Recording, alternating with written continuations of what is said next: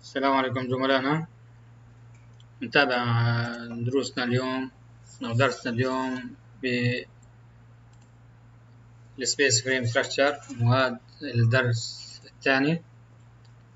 حكينا طبعا عن أنواع ال space truss في الدرس الأول.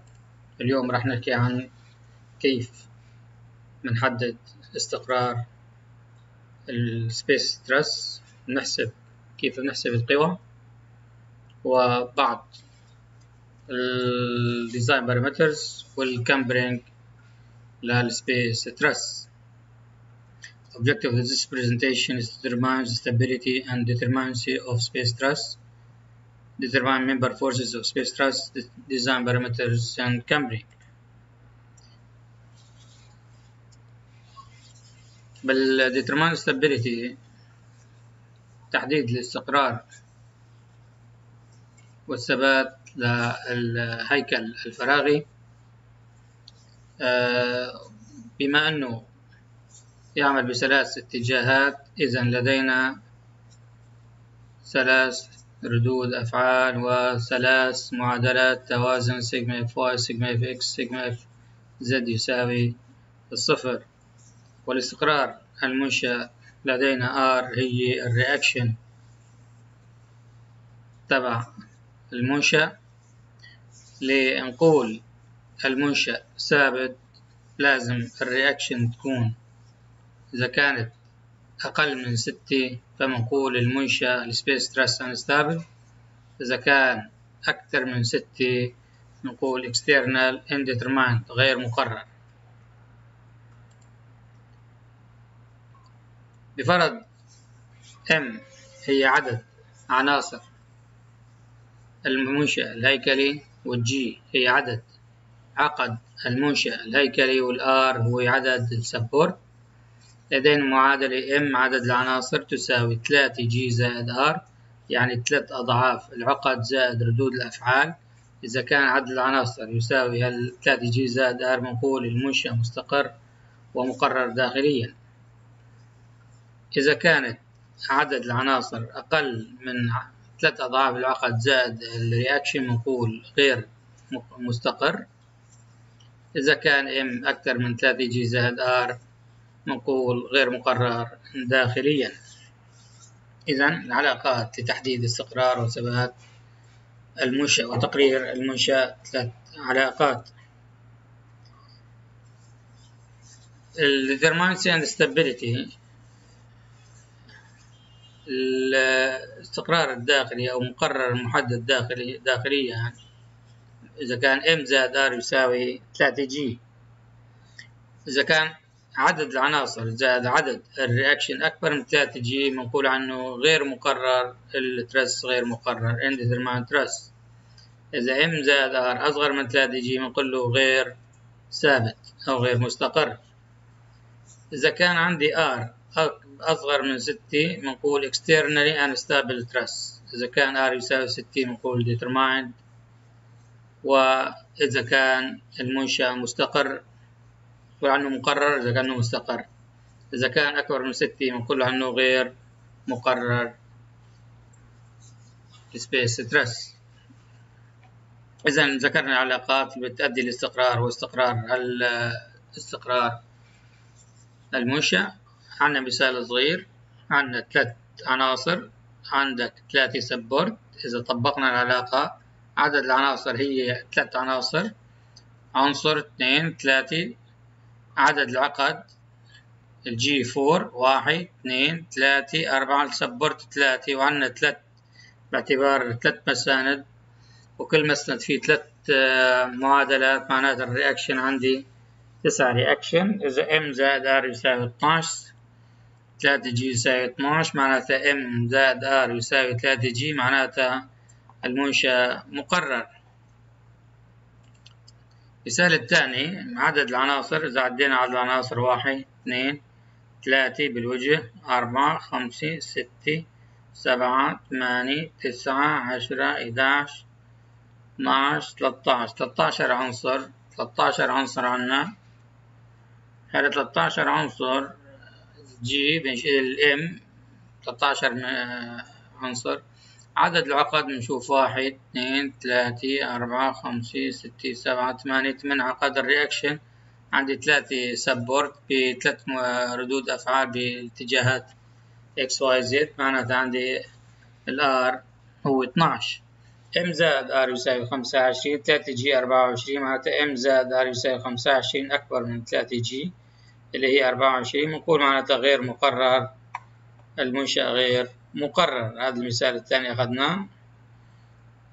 مثال ثالث بحساب قوى مثلا أو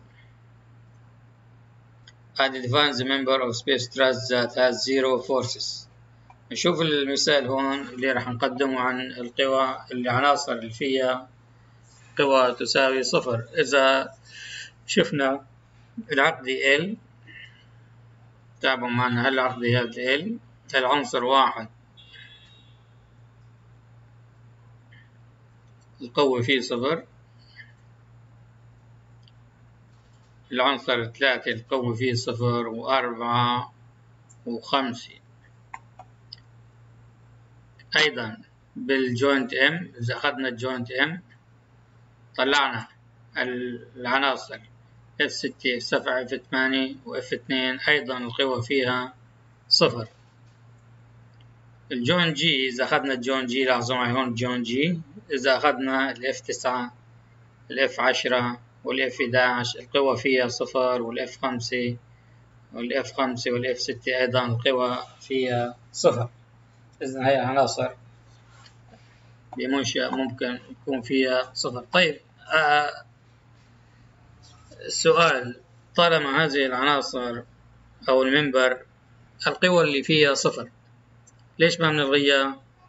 من المنشأ مين بيجاوبنا عليه؟ وهذا سؤال للزملاء اللي بحسن بيجاوبنا عليه ليش ما بنلغي هالعناصر من المنشأ؟ هذا منشأ تاني مثال صغير للعمل. بدنا نحسب القوى الشكل. بنشوف الشكل الهرمي. في عندي العقدة G والعقدة H في عندي أربعة كيلو نيوتن واثنين كيلو نيوتن. عند ال reaction موجود A B C D. ال reaction موجود فيه support أربعة support عدد العناصر. بدنا نحسب القوى بالاف اي والاف سي والاف جي والاي اي والاي دي مين بيعرف شو القوى اللي راح تكون بهذه العناصر جربوا بعملية حسابية سواء ب التي فاكتور الكوفيشنت أو retention coefficient ميزود ولا بعملية قص حساب ردود الأفعال أخذ عقد. بأي طريقة جربوا واحسبوا القوى بالعناصر اللي ذكرناها لهذا الشكل.